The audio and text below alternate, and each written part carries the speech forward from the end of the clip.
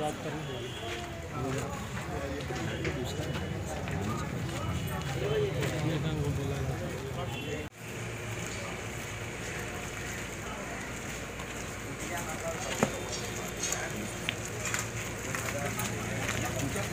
ये पीछे पीछे रहो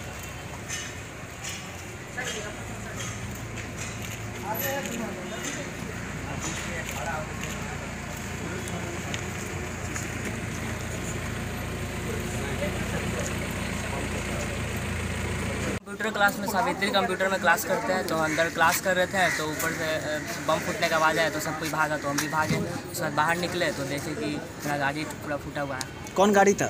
होंडा डीओ स्कूटी वो जो बमबाजी में जो टूट टूटा हुआ स्कूटी वो आप ही कहा हाँ मेरा ही क्या नाम है आपका? सानू कुमार।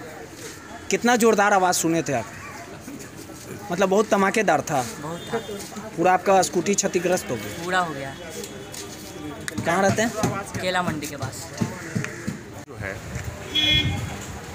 अपराधकर्मी आए चार पाँच और उन्होंने यहाँ पर तीन बम फोड़ा जो कोचिंग संचालक जहाँ पर जाने पर यह बात प्रकाश में आई है ये जो कोचिंग संचालक खान है इनका एक लाइब्रेरी भी है वहाँ लॉकर है वहाँ लड़के किताब विताब रखते हैं। हाँ। और बगल में भी एक और भी लाइब्रेरी है वहाँ भी लॉकर है वहाँ के भी स्टूडेंट अलग हैं वो उनको पैसा देते हैं वहाँ किताब है आज वहाँ के लड़के यहाँ आके लॉकर में किताब जिस पर कृषि संचालकों ने जो है उन्हें डांटा कि आप तुम वहाँ के हो तो यहाँ किताब क्यों इसी पर बकझक हुई वो धमकी देखे गया और उसके आधे घंटे के अंदर ये घंटे। बम पटका गया है सर कितना?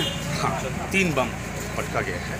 रंगदारी से भी जुड़ा हुआ मामला रंगदारी सा अभी तक का प्रतीत नहीं हुआ ना ही हम लोगों को कभी रिपोर्ट था और ना ही अभी तक हम लोगों को जाँच कर रहे हैं ना?